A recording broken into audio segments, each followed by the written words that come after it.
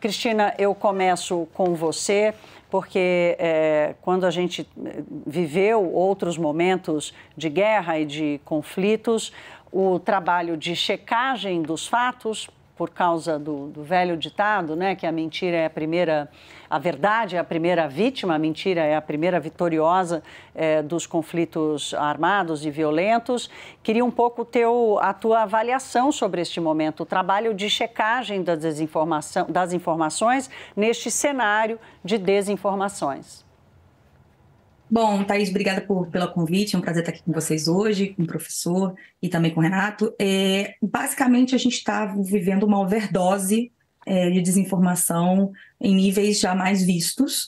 Né, uns números bem precisos que eu trouxe aqui para a gente discutir. É, a, a, guerra não fez nem ainda é, um mês e somente a Lupa já publicou 28 checagens.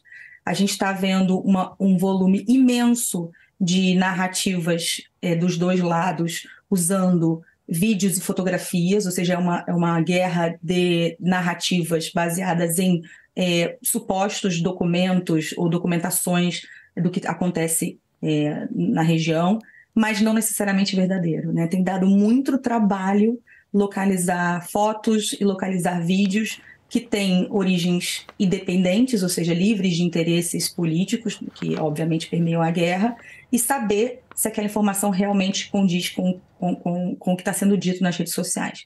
É a, partir disso, a gente vê uma polarização imensa do planeta. Aqui nos Estados Unidos, a guerra praticamente conversa de todo café da manhã. Imagino que no Brasil é a mesma coisa. E a gente fica nesse, nesse, nessa dolorosa, e não posso deixar de, eh, de, de saudar os checadores que têm trabalhado isso no mundo todo, como é doloroso você realmente ter que todo dia abrir é, e olhar frame a frame de um vídeo e uma fotografia de é, muitas crianças feridas, adultos, é, pessoas degoladas, e, e, tentar localizar, geolocalizar aquela informação, saber se ela é atual. Então, tem sido um trabalho intenso, emocionalmente muito, é, com preço muito alto, e que, que, que, aparece só a pequena ponta do iceberg. Né? Assim, nesse primeiro mês, a gente já ter feito 28 checagens, já mostra que, que é muito grave. E olha que a gente está um pouco longe, geograficamente falando, do conflito, e também em termos de cultura, a gente está chegando conteúdos que chegam em português. Você imagina como é que está a gente está vivendo né, é, entre os checadores árabes e os checadores israelenses, o caos é completo, é pleno.